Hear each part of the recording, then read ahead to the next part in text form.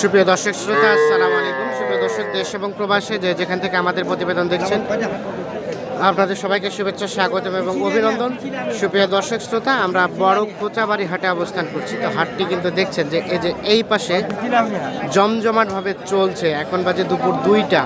তাতে জমজমাটভাবে চলে এবং এই হাটটি কিন্তু দুপুর বারোটার দিকে জমজমাট হয় এবং তিনটা পর্যন্ত চলে। তো এই পাশে আমরা বেশ কিছু গরু দেখছি, এগুলো এই খোঁচাবাড়ি হাট থেকে বিক্রি হয়ে গেছে। তো এগুলো কোথা থেকে সে ক্রয় করল, দামটা কেমন ছিল? আনুষঙ্গিক কিছু তথ্য আমরা তুলে ধরার চেষ্টা করব এই প্রতিবেদন। আজ হচ্ছে আটই ফেব্রুয়ারি দুই হাজার বাইশ, আর আপনারা জানেন যে এটি শনিবার এবং মঙ্গলবার দুই দিন বসে, তবে মঙ্গলবারে বেশ জমজমাট হয় এবং এটি ঠাকুরগাঁ জেলার সদর উপজেলার মধ্যে পড়েছে এখান থেকে আহ, ঠাকুরগাঁও সদর তিন থেকে চার কিলোমিটার দূরত্ব অবস্থিত আর কি। তো চলেন আমরা একটু ভাইয়ের সাথে কথা বলতে চাই। ভাইজান আসসালামু আলাইকুম। ওয়ালাইকুম আসসালাম ভাই। ভালো আছেন ভাইয়া? আলহামদুলিল্লাহ। কোথা থেকে আসছিলেন ভাই? ভাই আমি ফরিদপুর থেকে আসছি ভাঙ্গা থানা থেকে। ফরিদপুর ভাঙ্গা থানা? জি। এই গরু নেওয়ার উদ্দেশ্যে? জি গরু নেওয়ার উদ্দেশ্যে আচ্ছা আচ্ছা। ওই এগুলো মূলত এগুলো মূলত কি খামারে রাখবেন না বিক্রির জন্য?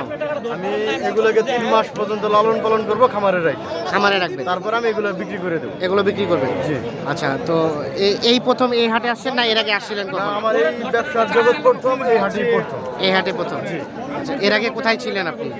আমি এর আগে দীর্ঘদিন প্রবাসে ছিলাম ইরাকে। প্রবাসে ইরাকে? জি আমি সেখানে থাকতাম। হ্যাঁ। আমার ডিউটির অবসর টাইমটুকু আমি আপনাদের ভিডিওগুলো দেখতাম। আচ্ছা আচ্ছা হ্যাঁ।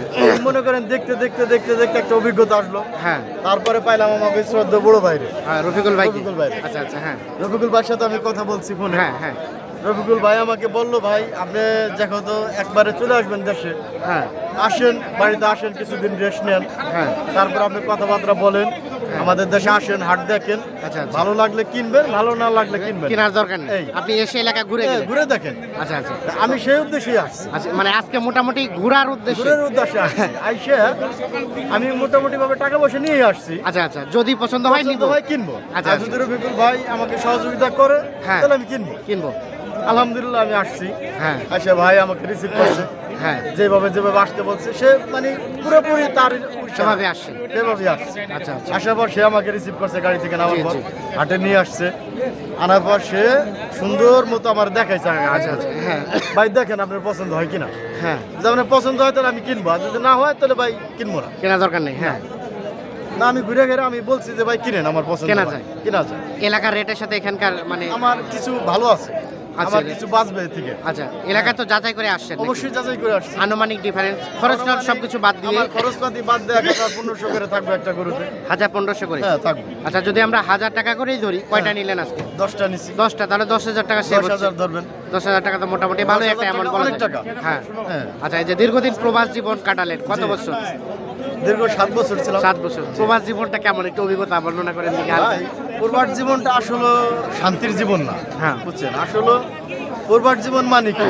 জেলখানা। জেলখানা। বুঝছেন? মানে নিজের স্বাধীনতা মধ্যে কোনো স্বাধীনতা নাই নাই বলতে চলে। আচ্ছা আচ্ছা। আপনার যদি আমি বলি আপনার যদি পাঁচ সাত লাখ টাকা থাকে হ্যাঁ। যদি দেশে আসেন একটা খামার শুরু করেন। হ্যাঁ। নিজে যদি শ্রম দেন হ্যাঁ। অন্য কেউ না নিজের শ্রম দিতে হবে। নিজের শ্রম দিলে হ্যাঁ নিজের শ্রম দিতে এরকম কিছু গরু কিনলেন হ্যাঁ। দু মাস তিন মাস পারলেন বিক্রি করলেন। আল্লাহ যদি ওর থেকে দশ পয়সা দেয় এটাই। ছেলে মেয়ে নিয়ে মা বাপ নিয়ে বাড়িতে রইলেন এটাই সুখে শান্তি বসবাস করা এটাই শান্তি পাই যান। প্রবাস থেকে অনেক ভালো। অনেক ভালো। আচ্ছা। বিদেশে যে পয়সা কম কামাই করছি তা না। হ্যাঁ। কিন্তু ভাই মনের যে একটা শান্তি শান্তি পাই। বাবা মা পাশে নাই না এই জিনিসটা ছেলে বউ পাশে নাই। ছোট ছোট দুটো সন্তান রেখে গেছি। এদের কথা মনে বলে খুব খারাপ লাগে। খারাপ লাগে কষ্ট লাগছে। যাই হোক আল্লাহ ভাগ্যে যতদিন ছিল আসছি। আচ্ছা। চলে আসছি। এখন আমি এর ভিতরেই আল্লাহ যদি আমার কিছু দেয় তাহলে এ নেই আমি থাকতে এই নিয়ে থাকবে। আর কি যাওয়ার সম্ভাবনা আছে না? আমার আপাতত চিন্তা ভাবনা না আপাতত চিন্তা যদি আমি এর থেকে কোনো প্রফিট পাই হ্যাঁ। একটা কথা মনে রাখেন আমরা প্রবাসী। হ্যাঁ। আমরা তো আর লেখাপড়া জানি না যে দেশে এসে চাকরি করব। হ্যাঁ। বিদেশ সাত আট দশ বছর থেকে সে কি করব? কৃষি কামার করতে হইব।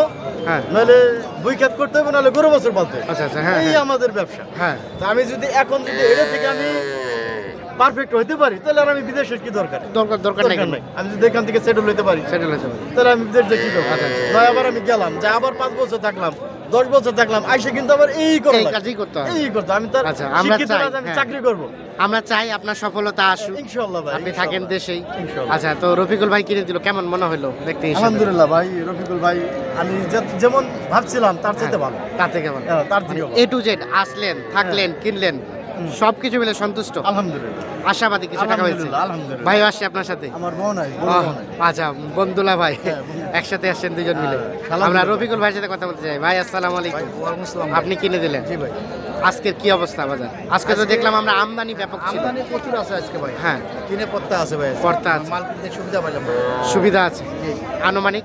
একটাতে কত টাকার মতো? একটাতে ধরে নেন এই হাজার করে সেভ পাইলাম আমি সেভ বর্তমানে আর কি। বাজার থেকে একটু ডাউন হয়েছে।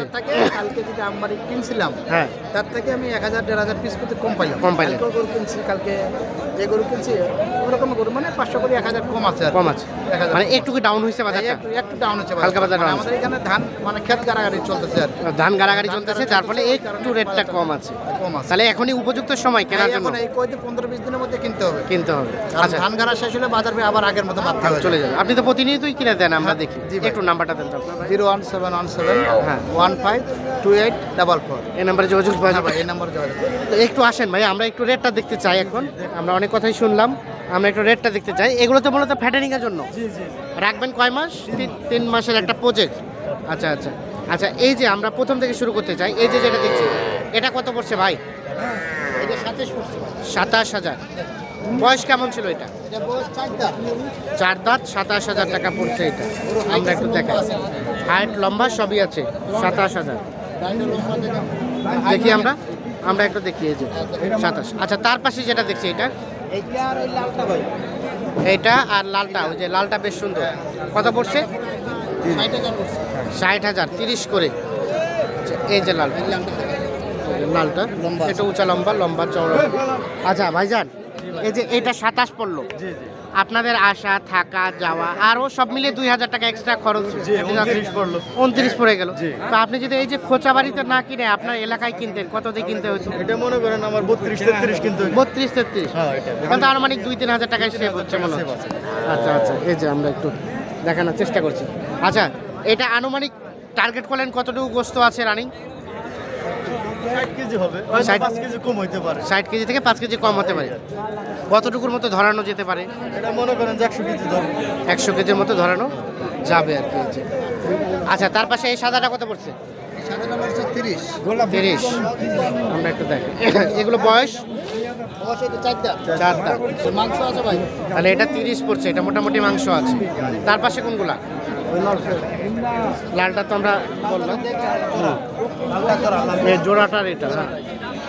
তার পাশে তার পাশে? এটা হ্যাঁ, এটা কত পড়ছে?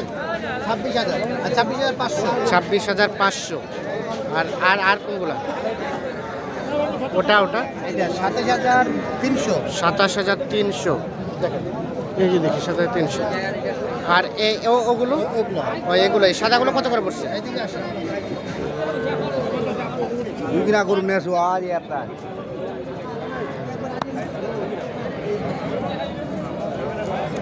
এটা। কত পড়ছে সাড়ে উনত্রিশ। সাড়ে উনত্রিশ। জাম পাতলা গাড়িটা লম্বা আছে গাড়িটা লম্বা আছে। তার পাশেরটা? তার পাশটা তিরিশ হাজার। তিরিশ হাজার। আচ্ছা আচ্ছা। ওটা ওটা ওটা? এটা সাড়ে উনত্রিশ। সাড়ে উনত্রিশ আচ্ছা রফিকুল ভাই এই যে কিনে দিলেন এতগুলো। আপনি কিনে দিয়ে সন্তুষ্ট? হ্যাঁ ভাই আজকে আমি সন্তুষ্ট আছি। ভাই কিনতে সুবিধা হয়েছে ভাই। আজকে কিনতে সুবিধা হয়েছে। এক একটা গরুর পিছনে নিম্নতম আটক কয়বার গেছি ভাই। ভাই আমরা সকাল থেকে একটা গরুর পাশে কমসে কম দশ বার ঘুরছি। দশ বার? হ্যাঁ। মানে রেটটা যাতে কম কমানো যায় জন্য? গেছি দামে বনে নাই ঘুরে চলে গেছি। ঘুরে চলে আসছি হ্যাঁ। আবার ঘুরে আসছে আবার গেছি আবার ঘুরে আসছে। আচ্ছা মানে থেমে থেমে হ্যাঁ, সময় নিয়ে কিনেছেন? কিনা ঠান্ডা মাথায়। আমি মনে করেন কিনতে কিনতে লাস্টে বলতেছে ভাই মাথা ধরে গেছে। পরে চা খাবার গেছে। আচ্ছা আচ্ছা। চা খাই আসি আবার গুড আবার মার্কেটে, বুঝছেন? আবার কিনছেন হ্যাঁ, আজকে চিপসি খুব। আমদানির কারণে আমি আজকে চিপসি চিপে চিপে চেপে কারণ তো ঠিক যে দশ টাকা কম রেটের দরকার কম রেটে কিনছে। তো ঠিক আছে ভাইজান ধন্যবাদ। ও আরও আছে। আচ্ছা এটা এটা এটা কত এটা সতেরো হাজার তিনশো সাতাশ হাজার তিনশো। ছাব্বিশ হাজার পাঁচশো। ওটা ছাব্বিশ হাজার আর এটা এটা? সাতাশ হাজার তিনশো। এই তাহলে এগুলোই আজকে? দশটা। আচ্ছা। তো ঠিক আছে ভাইজান ভালো থাকবেন সুস্থ থাকবেন নিরাপদে থাকবেন। ক্যামেরার সামনে আসার জন্য আপনাকে অসংখ্য ধন্যবাদ। আমরা চাই যে আপনার খামারের সফলতা হোক। আপনি এখান থেকে একটা মানে পথ খুঁজে পান রোজগারের। ধন্যবাদ সবাইকে। ওকে আল্লাহ হাফিজ।